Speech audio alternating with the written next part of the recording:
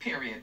And she tweeted, you know, as a comic, always working and on the road, I have had to decide between motherhood and living my fullest life, and I choose the latter. So this is just a little F, all y'all, because you can't be a woman without sacrificing, and that's a fact, Jack. I swear I love her for saying that. Because you know what? you know, it comes up a lot, you know, when you're a woman and you have a career, you know, uh, that, that question, can you have it all? I've been asked a hundred thousand times and I've always been consistent in saying, nope, you can't. Nope. If you have a great career, maybe you're a half wife or a half girlfriend, or maybe you have no love life, or you're a whack mother, or, or you're whack in your career and you're a great mom and so shout out to all the stay-at-home moms, just because you're a stay-at-home mom, because I know a lot of you all as well. But I gotta say this. I gotta say this.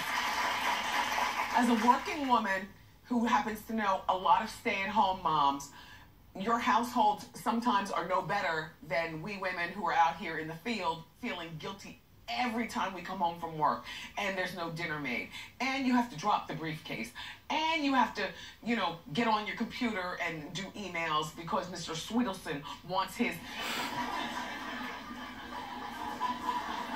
where are my girlfriends?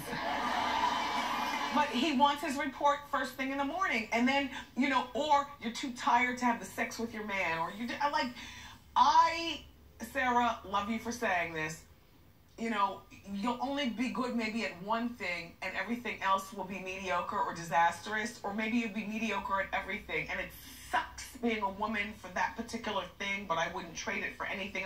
Like guys, guys don't have the same responsibilities that we have. Like when your dishwasher goes out, who's replacing that? Who's who's making the phone calls? Looking up style numbers? A woman? Right?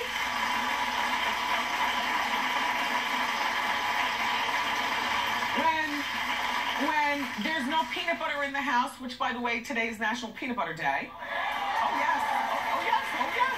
Oh yes. When there's no peanut butter in the house, who's responsible for putting it there? While still cleaning out the briefcase, sending emails, and trying to prep for the next day. Women.